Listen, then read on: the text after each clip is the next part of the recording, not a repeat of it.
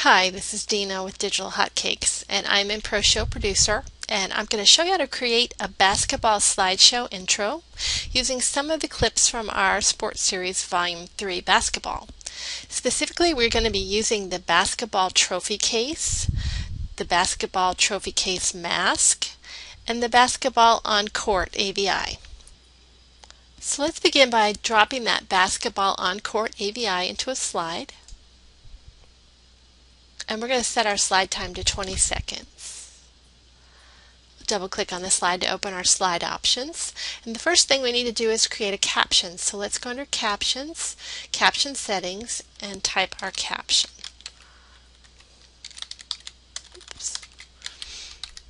Okay, and I want this this caption to be white. So right here under Color Set, I'm going to I'm going to grab my eyedropper here and just drop it in the white set color. And I also want to left align this. So over under caption placement, you'll see the alignment options.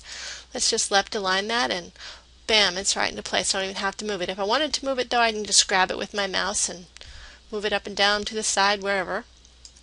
And also I want to have it fade in. So up here under text effects, fly in, I'm going to choose a fade in.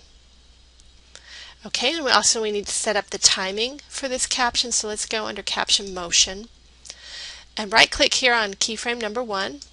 We're going to set time for this keyframe and we're going to set the time to 14 seconds. And I also want to adjust my fly in. So if you right click on the fly in here, you'll see set effect time and I want to set that to two seconds. Okay, now we're finished with our caption. Let's go add the trophy case.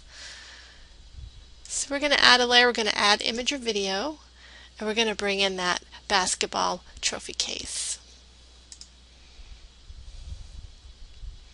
And of course we're going to need its corresponding mask.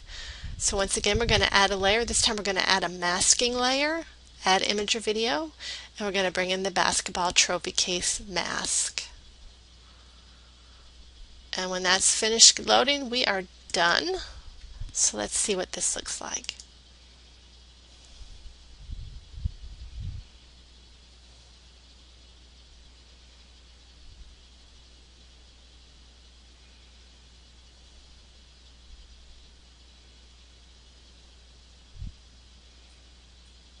There you have it.